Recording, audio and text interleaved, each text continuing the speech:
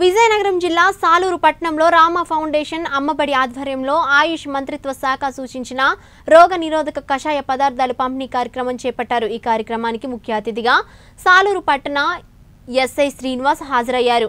ఆయన చేతుల మీదుగా ప్రభుత్వ హాస్పిటల్లో కోవిడ్ నైన్టీన్ టెస్టులకు వచ్చిన వారికి ఈ కషాయ పదార్థాల ప్యాకెట్లను పంపిణీ కార్యక్రమం నిర్వహించారు.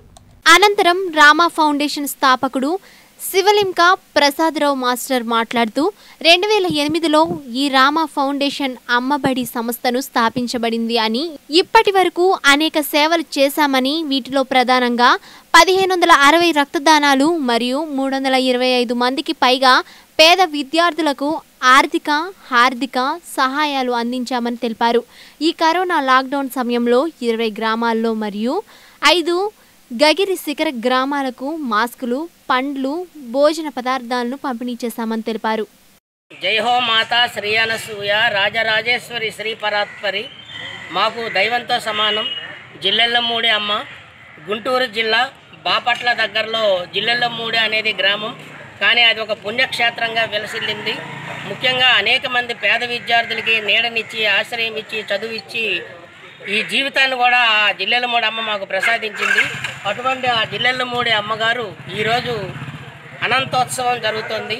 అంటే పాంచభౌతిక శరీరాన్ని విడిచి పంచభూతాలలో లయమై వాటికి మరింత శక్తిని ఇచ్చినటువంటి దివ్య క్షణాలు ఇవి. ఆ దివ్య క్షణాలను పురస్కరించుకొని మాలాంటి వేలాది మంది విద్యార్థులు అక్కడ చదువుకున్న వాళ్ళం అమ్మ సేవలోనే తరిస్తూ వస్తున్నాం.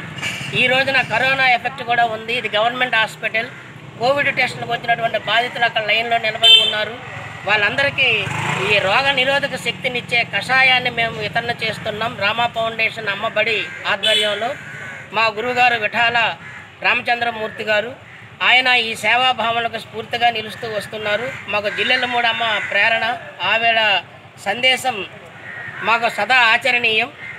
ఆవిడ తాలూకా గొప్ప వ్యక్తిత్వాన్ని మేము ప్రజలకు తెలియజేయాలనుకుంటున్నాం. ఈ మానవతల త్రివేణి సంగమం జిల్లెల్లమూడి అమ్మ. ఆ దేహమాతను స్మరించుకుంటూ ఈరోజు వరకు మేము పన్నెండేళ్ళుగా చేస్తున్న అనేక సేవా కార్యక్రమాలు ఆవిడ పాదాలకు మా గురువు గారికి అంకితం చేస్తూ వస్తున్నాం. కరోనా బారి నుంచి ఆయుష్ మంత్రిత్వ శాఖ సూచించింది ఇందులో. ఈ పదార్థాలన్నీ కూడా ఇవి కషాయం చేసుకొని తాగినట్టయితే వారానికి రెండుసార్లు రోగ నిరోధక శక్తి పెరుగుతూ వస్తుంది.